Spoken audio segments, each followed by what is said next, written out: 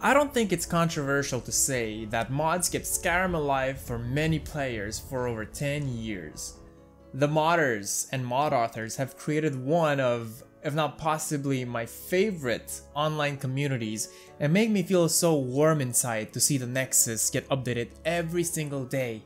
Or actually every single hour if you think about it. Basically, every hour a new mod appears on the site and there are so many to pick from so this is where this video is going to help you. Now please keep in mind that I do use the term hidden gem kinda loosely in this video. The reason for that is that I did take a little bit of time to finish the video and a few of the mods have uh, gotten a little bit of spotlight on the Nexus, but not as much as I think that they deserve.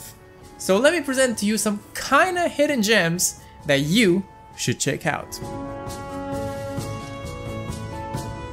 Oh and yeah, grab your snacks. You thought I would forget, huh? You thought I would forget? I will never, never forget. Haven't you thought that Skyrim needs some paintings? I bet you can't even remember if there even are paintings in Skyrim, huh? You play Skyrim? Name all paintings. Do it. Do it! Personally, I have no idea if there even are paintings in vanilla, but I can't remember any, so why not add some anyway? Introducing the Paintings collection of mods. There are a few mods uh, that add this type of cool, realistic paintings to the Bannered Mare, the Winking Skeever, Candlehearth Hall, the Bard's College, the Blue Palace, Temple of Dibella, and there are a few others, but I can review them all in the video. I'll just focus on these for now, and I think the paintings are pure quality. They are added really well and add a bunch of colors to each location. Even if I zoom in this much, I don't see any pixels. And look how small, this is one of the small paintings too, it's pretty cool. I think they're really neat, and uh, oop, I, I gotta censor that one. Oh, oop, this one too. This one's probably my favorite. Don't tell my mom I installed this mod, uh, I'll be in trouble. But overall, I do think that it's a really great idea to add more details to uh, these places and it makes shots of Morgana dancing this much more interesting. Look at these flags over here. What do you see? If your answer is little decoration pieces that you put on cupcakes, we kind of have a problem. I mean, imagine real armies using that as uh, tools to plan a war. I mean, it would be probably pretty cheap and kind of smart if you think about it, but it's, it's not cool. It's not badass. This is XNF Rain's Civil War map flag replacer. There's really not much to say about this other than now it looks like a super epic war table. Get these gold flags out of here, uh, give me the goodies. Honestly though, for a 2011 game, the original ones are great. I mean, they're so small that you don't even pay attention to them. But now, this is 2021 baby, give me the good stuff. It's funny to think about having flags as cool in real life though. Was that Ulfric? We're planning a war. Little Timmy, bring your old Warhammer set. Yeah, we're gonna need the flags.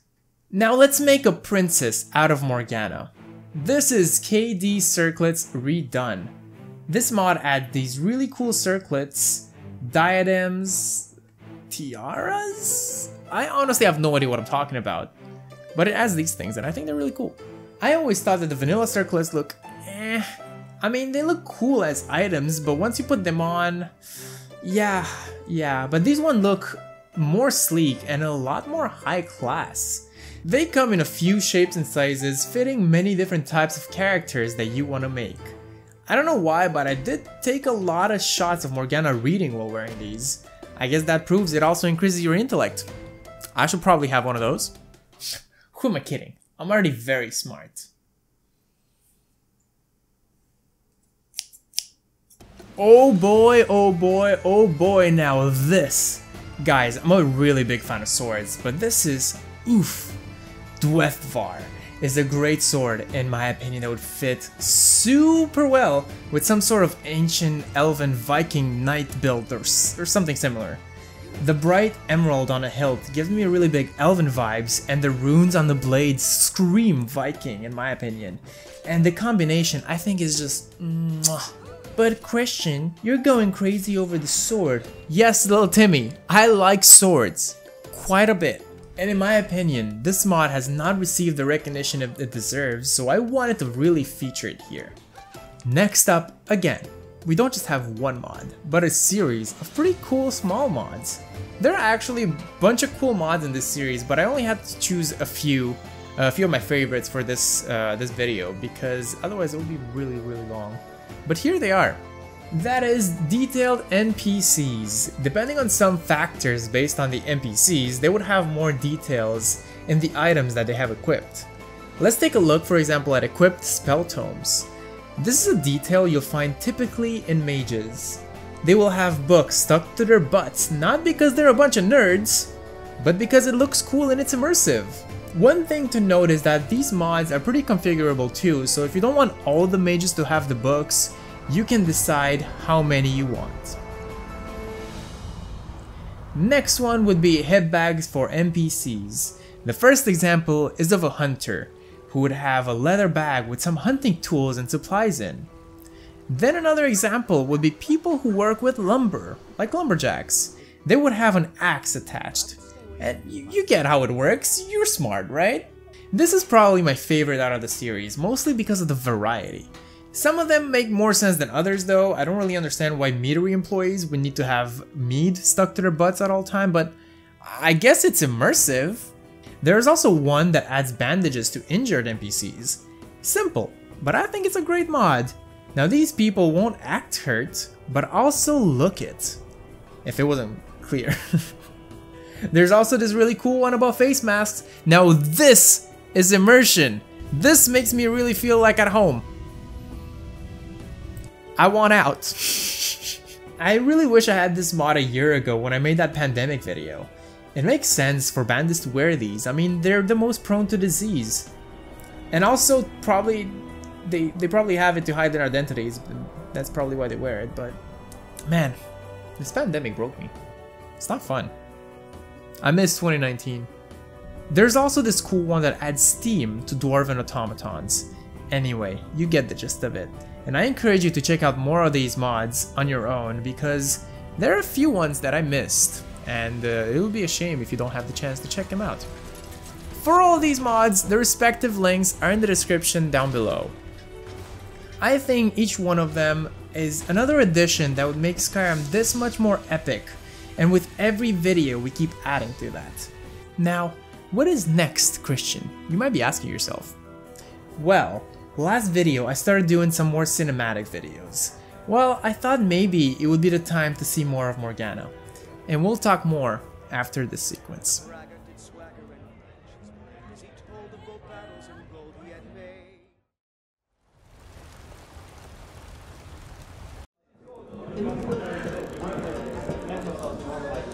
Yeah, I'm a pretty good fighter myself. I've been thinking about joining the companions too.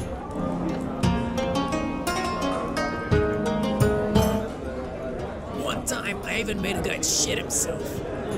Yeah, it was that one time I left in the mirror. Wait, could that be who I think it is?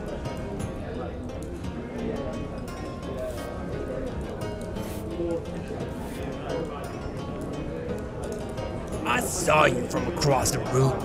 I know exactly who you are. You're set to be the mercenary taking on bounties all over the province. I heard you even killed Daedrus. Ah, fine bloody tale. Then again, I still don't believe the rumors. I mean, how can a tiny woman be able to take on so many foes? I tell you what, darling, you stop lying to us and get back to the kitchen where you belong. Not bad.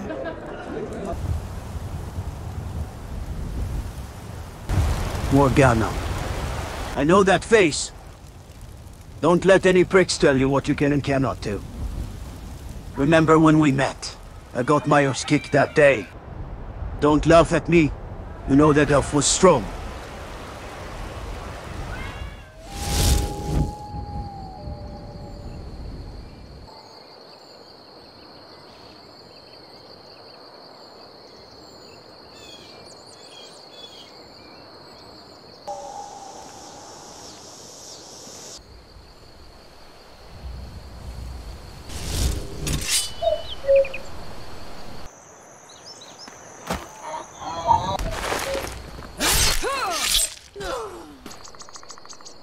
Okay.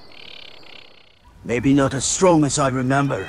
It is thanks to you that I can still serve today. And got a pretty cool sword as a souvenir. Anyway, do you want justice?